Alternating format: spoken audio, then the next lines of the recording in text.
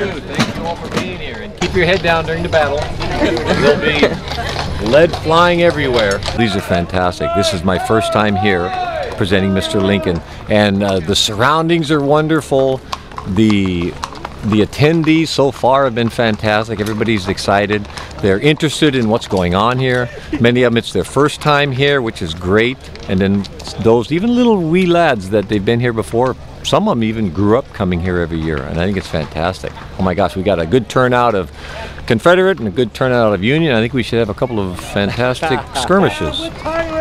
Hey, I'm a Kentuckian, remember that. You're a tyrant. I'm a Southerner. My name is Abraham Lincoln.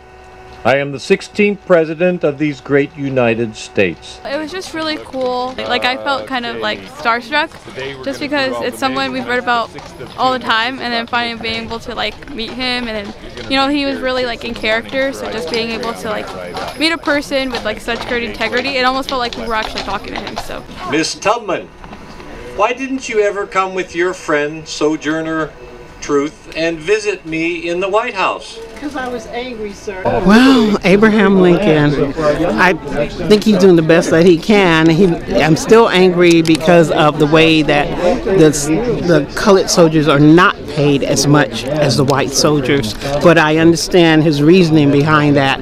It was hard to find a general that would be a general for a unit of black soldiers. And one of the compromises we made was that, well, we will pay them less. And so our generals would then accept that idea. It's crazy nowadays. I'm glad I don't have to deal with a lot of what's going on today. Things are kind of topsy turvy. I think he would probably go back to the theater. Just Well, I feel that this is very important because it's a very important piece of our history. And the reason why we're coming out here as African Americans is because if we don't tell our story, who will?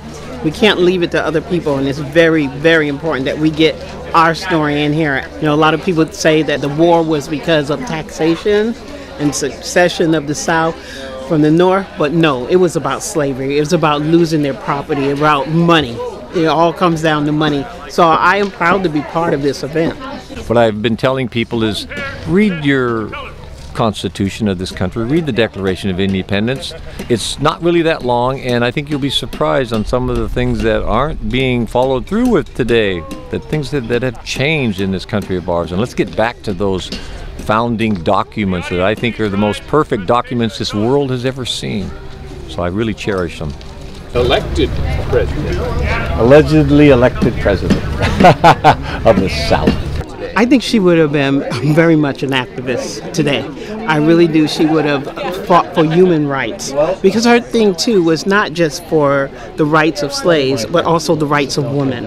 And we're still having those issues today. It's not a penny, it's a small portrait. If I handed you a penny, I'd be cheap. So it's a small portrait. I'm on that penny.